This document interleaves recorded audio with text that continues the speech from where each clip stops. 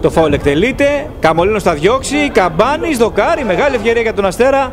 Αλλά είναι σε θέση offside ο παίκτης του Αστέρα Σύρου. Ξαναβλέπουμε εδώ το offside του Αστέρα.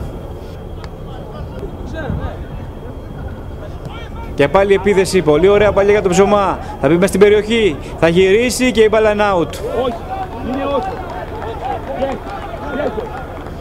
Και πάλι η ομάδα της Σύρου, μεγάλη ευκαιρία. Ο Βίδος θα διώξει την μπάλα πάνω από τη γραμμή. Τεράστια ευκαιρία που χάνει ο Βελέτζας. Πλασάρει τον Καμολίνο, αλλά ο Βίδος θα κρατήσει το 0 για την ομάδα του. Και πάλι ο Αστέρας με τον ψωμά. Πλασάρει τον Καμολίνο. Βίδος κόρνερ. Το κόρνερ εκτελείται. Ο Βελέτσας θα πάρει την κεφαλιά, ο Βίδος μπλοκάρει.